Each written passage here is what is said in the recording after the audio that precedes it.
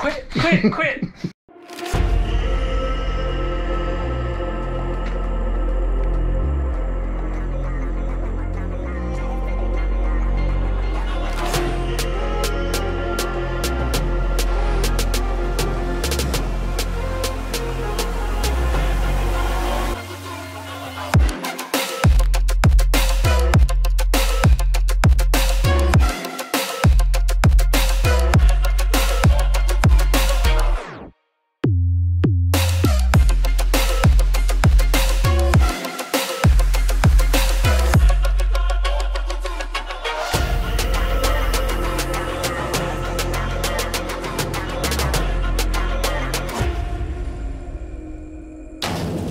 My name is Tony Thomas, and you're watching Hardwired Exotics on YouTube. Okay, this works. What are you doing? So, Why are you on the computer? uh, trying to get this thing to hook up to the internet so we can do something on it today. Why are we doing something on the computer? Why can't we just do it on our phones? Your phone can get on a computer? Your phone is a computer. And a video recorder and a camera and a I mean mine even it's a measuring tape without the tape. What? You hear that in the background? That's the chickens you just pissed I- off. Piss them. I caught them jokers, y'all. They my chickens now. Yep, Craig caught the chickens Yep. and taking them home. Oprah Winfrey and Anne Hathaway. Yep. What we got Alright, going? Let's see. I got it going on. So today's uh, video is going to be based off of Morph Market, the do's and don'ts and whatever else we want to talk about. Mhm. So, but mainly, what I wanted to bring up is, um, and this also goes for like Facebook. I'm not sure if Instagram has like reviews.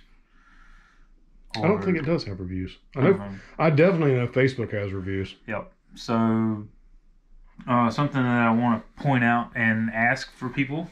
So we'll just go ahead and do Facebook while we're here. We got a couple pages. Somewhere. For those that don't know, we also have an Eagles View Media because we do video. I mean, That's right. Video editing and photography and stuff. And we also have a J&B honey because um, we're, Oh, they we're in the honey business. They too. got some good honeys. Our Facebook has a lot of reviews and a lot of check-ins and stuff like that. So I'm very proud of that.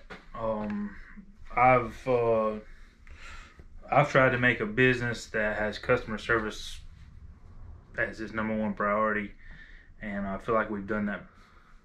So if you've ever bought anything from us, um, or just like our channel or whatever, how about go to our Facebook page and leave a review? um, it just it helps because if if somebody doesn't really know who a company is, they're going to go research it. And if they research and they find my Facebook page and you know there's all these great reviews on it, then guess what? They're going to be a little bit more apt to uh, buying from me. And it's not just me. You know, if you've dealt with somebody that you really like, um, even like my buddy Justin, uh, Justin Kobylka Reptiles. I mean, everybody in the reptile business pretty much knows who he is. Well, when I've bought stuff from him, I left him reviews. Um, and I'm the world's worst about leaving reviews. So if I bought something from you and you need a uh, review from me, then uh, hit me up and I'll make sure I make it happen. We sometimes we just get busy and forget about it. Anyway, those reviews really do count. So, all right, uh, let's go back to Morph Market because that's actually what we're supposed to to Morph be Market. about. So, Morph Market. How do you use Morph Market, and what is the deal with, uh, you know, the reviews and stuff? So, I thought, Let's see. I thought Morph Market was just where we calculated the odds on what we were going to make. no, Morph Market is actually a selling platform That's That- cute. I would say majority, maybe not, well, probably our majority of the people um, in the reptile world post their animals they have for sale. We also have a website. Some places do have websites, but this is kind of like a, I don't know, just a general good area you can go to. Most of the people on Morph Market you can trust. Did you hear what I said? Most. Most. So let's say uh So can we do it by store? Uh yeah, so let's do categories first. Yeah. Let's say you're in the business for uh, king snake. I like king snakes. I think they're cool too. So you click on the king snakes, and um, so what all these are are different genetics. Oh, this screen. Oh, you got a touch Yeah, I screen, got one touch screen. So, We fancy y'all. um, this is my wife's. I have no idea how to use it. I'm not a computer. Let's change all our passwords. That would be funny. Let's do it. We're logged in now. We're logged in. Okay. Cassie, Cassie, edit this part out. Anyway, uh, so all these are the genetic mutations that uh, are available at the moment. There, are, sometimes there are more genetic mutations than what this shows because nobody has one listed. Would you say that if you mix these together, it's a mutation creation? Possibly, Okay, all right. All right. So- Bad, bad jokes. All right. there may be, um, you know, more available. Just nobody has them for sale. Right. So, um, but anyway, these are genetics. Alright, so basically, what you're looking at is recessive. Um, let's stick with albino because most people know that albino. This would be pos het. The orange would be 100% het, and Today is um everybody's receiving their snake day, right? yep, yeah, I shipped out a lot of snakes yesterday, and people were blowing my phone up. But that's a good thing. Yep. Um, Maybe if we tell them, hey, we're doing a video about making reviews right now. if you could leave a review real quick, we can show it on the video. that would that is possible, but we'll get to that. All right, better this. Better Uh, albino. So pos het would be the yellow, hundred percent het would be orange, and the visual would be, you know, um. The other. the pink or red or whatever color they Yeah. try it to be. So, Oh wow, look at that one. That was yellow. yep. So this one really catches my eye right off the bat. Strapped, striped albino. So, Can we have cool. those in Georgia? uh, depends on what the king snake species is. Okay. So this is California king snake. So, we yes, Can, yes, we can have that. You, we can like if I wanted to buy this animal, it's perfectly legal to have this shipped in. But we can't have eastern indigo snakes in Georgia because I'm very jealous that everybody else gets to have them and we can't even touch them in our yard. Yep. Striped. I think most of the striped king snakes are probably going to be California kings. Right. Pretty sure that they are. Could be wrong. Um, but anyway, so what we have here, the blue Mm-hmm. with the arrow pointing to the right slightly, that is what? Oh, that is a male. That's male. The pink with the plus sign at the bottom Is a female. female. So uh, And there's only two genders. There's only two genders. So, male or female tells you right here, and then you Mhm. also have the price, and you also have um what breeder Okay. is uh you know making this available. So all that's right here. If you want a better picture, sometimes people not me because I'm lazy, um, but a lot of people post multiple pictures Okay. and it tells you more information, you know. So anyway, if you choose that this might be something you want to are interested in, Mhm. you click the inquire to buy, send a message. Um, do not message the person um, asking a bunch of dumb questions. Say, hey, I would like to purchase this, you know, and maybe even give a little bit of information about yourself, or you know, just general conversation. Make sure the animal's available. If you have any more questions, then go from that point forward. Do not send a message that has like six or seven paragraphs. For that matter, don't even send one paragraph to a breeder. Okay? That can be said in my line of work too. And pretty much anywhere. Yeah. You know, make sure that the person knows that you're serious about buying it and make sure it's interested. Because what if you type out all this information and the breeder sold this 10 minutes ago and haven't had time to remove it from Morph Market or their website yet? That's right. Then you just wasted all that time. All that time that you could have been asking somebody else a question. Or if the per- if there's somebody else ahead of you trying to purchase this animal, that um, they can tell you, hey, I got somebody else ahead of you. You know, I'll get back to you shortly. Something along those lines. So, just things to consider there. Hey, side note, I'm gonna rant for a second. If you inquire about something and put your personal information out there for someone to get in touch with you, and then you start getting telephone calls and emails and you don't reply back, nah, not cool. Not cool. So if you're asking them a question, or me a question, or anybody else on there a question, Yep. and they call you, answer the phone. Yep. All right. So um, let's go ahead and go down categories. If you want to look at different stores, Yeah. So all these um, view seller directory.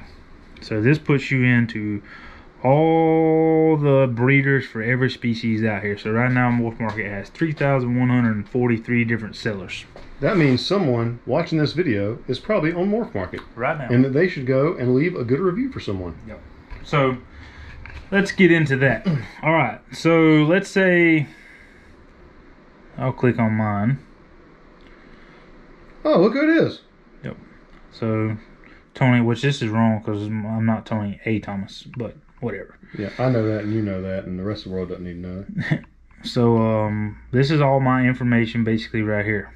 Um, community profile, my actual website, my Facebook page, my Instagram page, my YouTube page, my personal telephone number, and my delivery information. Local pickup is available as well as regional shipping. Regional shipping in the United States. When did you join?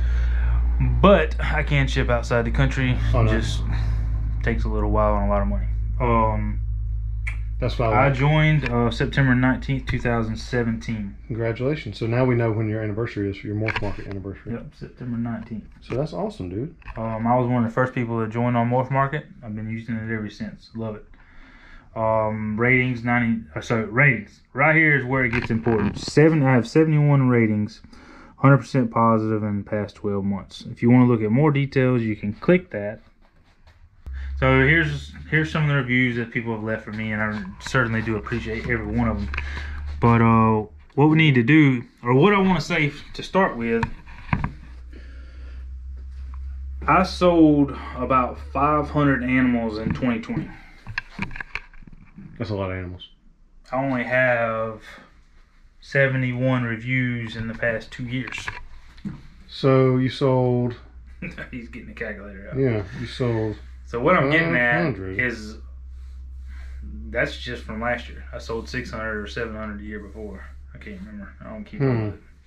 So I've sold a lot of animals, um, and a lot of these animals never get on Morph Market, and that's cool. I understand that. You can't leave me a review if it never hits Morph Market. That's right. But I just want to put it out there that there are a lot of good breeders that have a Morph Market account that have a very low rating based off they never put animals on Morph Market because there are customers buying those. So keep in mind, just because somebody doesn't have a lot of reviews on Morph Market doesn't mean that they're a new seller or doesn't mean that they're a bad seller. Just means that they're selling stuff before it even hits Morph Market. So keep that in mind when you're searching. That's where it pays to have other platforms such as Facebook. Our Facebook page been out mm-hmm. since 2014, I think That's right. has really good reviews on it. That's why those reviews on my Facebook page and all these other places that you can leave reviews are important because people might want to search something outside of Morph Market. So, just something to think about. Um, and us breeders really appreciate that stuff. How do we leave a review? All right, so the only way you can leave a review on Morph Market is if a seller indicates to you that they sold you an animal. So it means you have to send an email from Morph Market to a seller. Let's just use me for example, Okay. it's just easier. Say Craig wants to buy a snake off of Morph Market that he's seen. So he sends me a message through Morph Market and we communicate he buys it from my website or sends me Cash App or Venmo or whatever the day's Yeah. the newest app is, and uh, I have to go on Morph Market and indicate that I sold him that animal.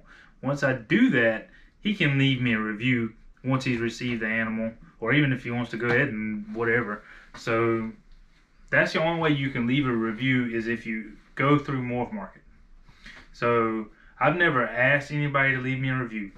Um, you know, through a through an email or anything like that. I just hope that they do. But the more I think about it, the more I'm like, you know what? I need these reviews. You do. I need these reviews because it makes other customers uh, feel more comfortable by buying from me. That's correct. So I'm asking for reviews, and I'm also asking not just for me, that anybody that you've had good dealings with or bad dealings with off of Morph Market or Facebook or wherever, you know, shout out and give them a review because that business needs it. That local business that supports their family needs that review.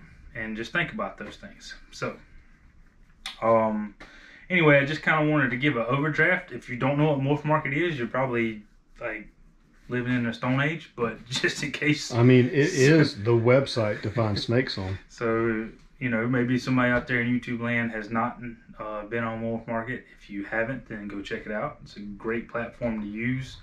Um, but there are some some iffy things on there. Again, go do your homework, check your reviews from other places. Now, I don't want to do this, but I'm going to just because. If somebody has an animal, I just happened to have this happen this past week. Matter of fact, I'm not going to show their name. Don't show their name. But somebody sent me a message for a $300 animal that I have. Um, a pastel GHI Something. something. Uh, I have it listed at 300 bucks. They didn't say hey or nothing. They just sent 200 question mark. It's all they sent. So I responded to that as we can take a $200 deposit. Sure. How would you like to pay? That's all I gathered from that. Their next email back was no need for a deposit. Two hundred dollars question mark. So I'm implying that the they want to buy this animal for two hundred dollars. So my response was this animal is three hundred dollars plus plus fifty dollars shipping. Two hundred dollars would only be a deposit. They proceeded to message me back and told me that I can keep the snake and my poor uh, dry humor. And then proceeded to tell me that they made the same offer to some other boa guy, and that guy accepted their offer, or some whatever. You know what? I feel sorry for the boa guy that's going to have to deal with some jackass that just sent me this email because that's not the way you do business. That is not the way you do business. That's not the way you do business to anybody. Um, if you want an animal, you should be willing to pay full price. If you would like to get a discounted price or you think that the animal should be valued less, then guess what? It's not your animal. Whoever's selling it, and that's not just animals. If if I make a knife and I think it's worth 250 bucks, guess what that knife is going to sell for? 250 bucks. 250 bucks. If you do a lot of business with me and, uh, you know, start to gain a friendship and a trust thing there, then you can start buying that knife for 225. But people literally make stuff, not just animals, but they make things and buy things to resell to make a living from. You know, don't be some jackass that goes and does something stupid like that. So, Oh, they're they're they're out there every day. They trust, are. trust me. but Trust me, I know. Um. Anyway, I just politely blocked him. I didn't have him. Yeah. And I mean, what's the point? You can't deal with people like that, and that's completely rude to be like that. When someone messages you initially and you have something listed for a certain price, and their first initial is, What's your bottom dollar? First of all, that's rude. Your bottom dollar means, Here's how much you paid for it. And that's the bottom dollar. So why would I, doing what I do, or him doing what he does, or you doing what you do, not not need to make money off of it? That's someone telling you that you're not good enough to make money off of something. Yep. And that's wrong. I mean, you'll pay you'll pay full price for Jordans, Michael Kors bags, Gucci, you know, anything like that. But you won't pay full price from an independent person trying to make it in the world. Yep. No, I ain't, I ain't about that life. We do offer a discount, but not on a one, not on one snake, not on, you know, not on a three hundred dollar snake. I mean, there's no money being made there to start with. By the time this animal's had, you know, two or three months of food, and then we lose money on shipping. It costs us more than fifty bucks to ship, but That's we right. only charge fifty bucks. So a three hundred dollar animal, there's not even nothing there. They're, Um, the animals are literally priced to the market. Yeah. A morph market, we kind of use that, and Craig's gonna love this term as the blue book value. Mm, love it. so uh, You just got my thumbs up on this video. anyway, um, animals are priced different on morph market, depending on the seller, depending on the quality of the animal, and honestly, just depending on what time of year it is, or what's hot at the moment. Or the rarity of it. or the rarity of it. So just for instance, um, I had a pastel leopard het desert ghost female listed at twelve hundred dollars for a long time, and I was offered nine hundred. I was offered a thousand, and I kept saying no and no and no and no and no, um, because I didn't mind keeping the female if it came down to it. I even had two guys tell me that I was way overpriced and, um, you know, the animal wasn't worth that, and I should just sell it for nine hundred dollars to them, and uh, that's not a way to do business either. That is um. All right, look. I'm goofy all the time, but um, if there's something I know, it's, it's about negotiating and stuff like that. That is a sorry way to negotiate by telling someone that their their item is not valued and build up your value. Yeah. That's that's not how you do business. Especially a piece of art. Especially if you're trying to purchase something from someone. I mean, what was it the other day? Um, I had one animal left, and it was the person says, "Oh, that's that's too much money," and then you know, actually, it's not because it's literally the only one on Morph Market. So if I have something that is the only thing on Morph Market, and they normally go for two hundred dollars. Then I think it's completely fine for me to charge two seventy five for it. Yep. Because it's the only one. Yep.